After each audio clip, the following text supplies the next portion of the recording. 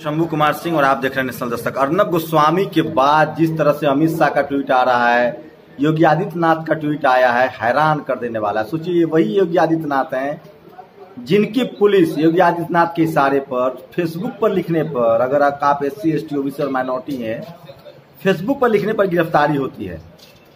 ये वही योगी आदित्यनाथ है जहाँ प्रशांत कनौजिया दो बार जेल जा चुके हैं क्योंकि वो दलित हैं।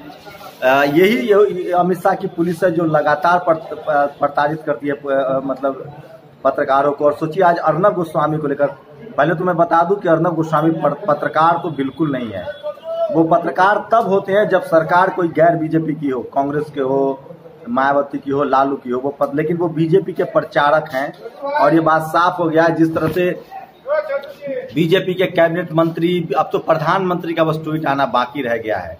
लेकिन सवाल ये है कि आखिर इसकी शुरुआत कहाँ से हुई? मैंने पिछले वीडियो में बताया था कि किस तरह से इस देश में नियम कानून की धज्जियाँ उड़ाई जा रही किस तरह से इस देश की जो मीडिया है वो जाति विशेष के लोगों को मज़हब विशेष के लोगों को बदनाम करते मैं अभी दरभंगा के एक, एक विधानसभा में हूँ जहाँ से डॉक्टर मस्कूर जो कि 26 साल का युवा है वो चुनाव लड़ रहे हैं। वो अलीगढ़ मुस्लिम यूनिवर्सिटी में प्रेसिडेंट भी रहे हैं।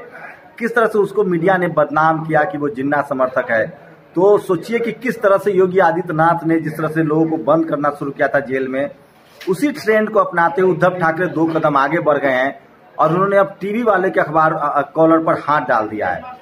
दरअसल इस देश की हकीकत है कि जब इस देश में कोई मुसलमान, कोई दलित, कोई पिछड़ा, कोई आदिवासी, मायावती हो, हेमंत सोरेन जब मुख्यमंत्री होते हैं या प्रधानमंत्री बन जाए देवगौड़ा जैसे लोग तो ये साढ़े चार साल तक मीडिया उनके साथ रहती है क्योंकि उनसे बिज़नेस लेना होता है।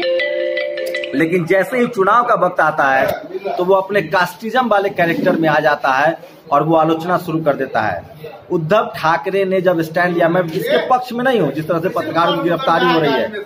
लेकिन ये तो साफ़ है, ये तो साफ़ है कि ये साफ़ है कि जिस तरह से स्टैंड लिया है उन्होंने, ये साफ़ है कि जिस तरह से उन्होंने स्टैंड लिया है उद्धव ठाकरे ने, उससे साफ़ है अब पत्रकारिता के उन लोगों को खैर नहीं है जो किसी जाति विशेष, धर्म विशेष और पार्टी विशेष की बात करते हैं। अब जैसे जैसे जहाँ जिसकी सरकार होगी, उसके हिसाब से कार्रवाई होगी। पत्रकार पत्रकारिता के लिए खतरनाक है, लेकिन एक बात साफ़ है कि आम लोग जो है, वो समझने लगे हैं। अर्नब गोस्वामी की गिरफ्तारी पर आम लोग, खासकर S C S T OBC, minority के लोग खुश हैं। ग्लैड हैं। वो तमाम पत्रकार जिन पर गाज गिर रहे थे, सोचिए, प्रशांत कनौजिया जेल में है, यूपी के जेल में है। वो भी पत्रकार थे। फेसबुक पेस्ट लिखने के लिए गिरफ्तारी हो रही है। तो मैं S C S T OBC minority के लोगों से कहना चाह रहा हूँ कि आपके पास तो पहले पत्रकार नहीं है। जो इक्का दुक्का लोग हैं, उनकी उनकी हैसियत नहीं है, टेलीविज़न में नौकरी नहीं देते हैं। अर्नब गोस्वामी कहीं से पत्रकार नहीं है, वो बीजेपी के प्रचारक हैं। अगर पुलिस ने कार्रवाई की तो उनको कोर्ट जाना चाहिए था। क्या आपने कभी देखा है किसी पत्रकार की गिरफ्तारी हो उस पर पॉलिटिकल पार्टी जिस तरह से देश का गृह मंत्री स्टैंड ले रहा है? दूसरी बड़ी खबर है कि जस्टिस लोया का मामला खुल सकता है। सोचिए, ये शिवसेना जो है, वो ठीक बीजेपी की लंबे समय तक दोस्त रही है। वो उसके रग रग से वाकिफ है और उसे पता है कि बीजेपी लोगों को कैसे डराती है। मध्य प्रदेश में, यूपी में, जहाँ जहाँ बीजेपी की सरकार है, वहाँ कैसे डराया जाता है लोगों को? चाहे आप सोशल एक्टिविस्ट हों सोचिए मीरान हैदर, उमर खालिद, कन्हैया सोचिए कितने सारे अभी भीमा कोरेगांव को लेकर हैनी बाबू, एक दर्जन से ज़्यादा लोग जेल में है जिनका मैं नाम अभी भूल रहा हूँ। तिल तुमरे जो कि डॉक्टर अंबेडकर के रिश्तेदार हैं, उनको जेल में डाला हुआ है। तो इस सरकार के खिलाफ अगर आप बात करते हैं तो आपको जेल में डाल दिया जाता है। डॉक्टर कफिल आपको याद होगा, चंद्रशेखर रावण आपको याद होगा। अभी तो ये तमाम लोग अभी नौकरी से निकाल दिया गया अलीगढ़ मुस्लिम यूनिवर्सिटी के दो डॉक्टरों को जिन्होंने हाथरस की बेटी को लेकर रिपोर्ट बनाई थी और कहा था कि उसमें गैंग रेप हुआ है और जो पुलिस वाले बोल रहे हैं वो झूठ बोल रहे हैं। तो लगातार जेल में डालने का खेल बीजेपी ने शुरू किया था। बाकी राज्यों के मुख्यमंत्री भी उस खेल को सीखने लगे हैं, वो करने लगे हैं। पहली बात अर्नब गोस्वामी पत्रकार नहीं है, वो एक प्रचारक हैं। वो कभी भी विक्टिम के साथ खड़े नहीं होते हैं। और ये बात साफ़ है कि जिस तरह से इस तरह के हालात हो रहे हैं, वो खतरनाक है। दो और बड़ी खबरें हैं जो मैं आपको बता दूँ। बिहार चुनाव में तीसरे दौर की वोटिंग सात को होनी है। उससे पहले योगी आदित्यनाथ आज प्रचार कर रहे थे। उन्होंने कहा है कि सी के खिलाफ जो लोग प्रोटेस्ट कर रहे थे, उनकी संपत्ति कुर्क होगी। एक और उनका इस तरह का फैसला आ गया। आप कल्पना कीजिए कि क्या होगा।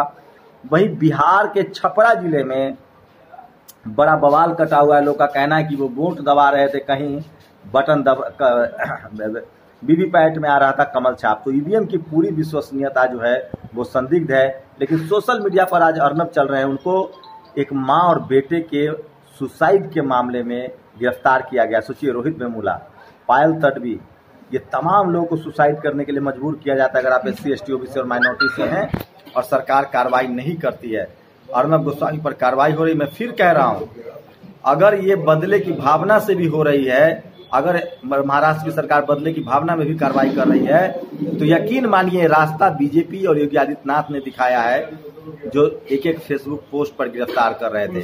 देश को बनाना रिपब्लिक बनाया जा रहा है कॉन्स्टिट्यूशन की धज्जियाँ उड़ रही है। आप कल्पना कीजिए कि जब अर्नब गोस्वामी के साथ ये हो सकता है तो ईमानदार पत्रकारों के साथ क्या होगा?